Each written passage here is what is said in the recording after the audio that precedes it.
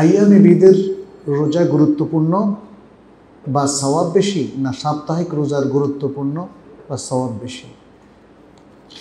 এটার জন্য তো তেমন কোনো দাড়িপাল্লা সেট করা হয় নাই।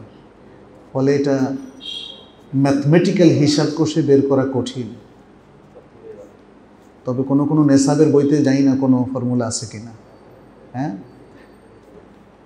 আসলে অধিকাংশ ক্ষেত্রে আমরা যেটা দেখি ইসলাম কম্পেয়ার করেনি।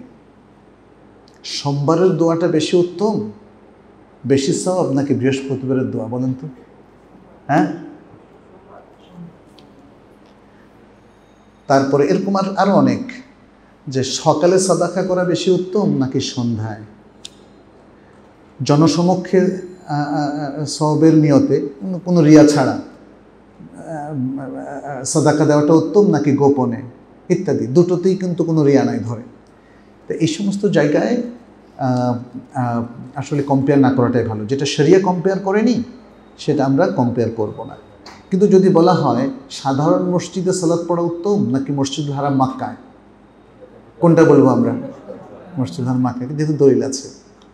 অন্য যে কোনো সাধারণ মসজিদ উত্তম, নাকি মসজিদ নবীতে সালাত আদায় করা উত্তম? মসজিদ নবীতে।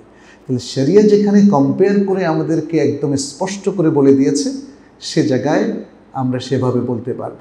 আদারওয়াইজ এটা বলা ঠিক না। যেমন শাহবান মাসের নফল সিয়াম উত্তম, যেহেতু রাসুল সাল্লাহ সাল্লাম থেকে সাব্যস্ত হয়েছে যে রমজানের পর এত বেশি সিয়াম তিনি শাবান ছাড়া আর কোনো মাসে রাখেন নাই। তাহলে শাবান মাসের সিয়াম উত্তম নাকি মহারম মাস? কারণ রাসুল সাল্লাহ সাল্লাম আমার বলেছেন, আফদল সিয়াম এবাদা রামাদান শাহরুল্লাহিল মহারম যে রমাদান মাসের সিয়ামের পরে সবচেয়ে উত্তম সিয়াম হচ্ছে মহর আল্লাহর মাস, মহরম মাসের সিয়াম। কিন্তু কম্পেয়ার করাটা কি উচিত হবে? উচিত হবে না। এইভাবে আমরা বলব, আয়ামে বিদের সাথে সাপ্তাহিক সিয়ামগুলোর কোনো কম্পারিশন রাসুল সাল্লাহ সাল্লাম করেননি, অতএব আমরাও করব না। আমরা পারতপক্ষে তার সুন্নাকে যত বেশি অনুসরণ করা সম্ভব, সেটা আমরা করব।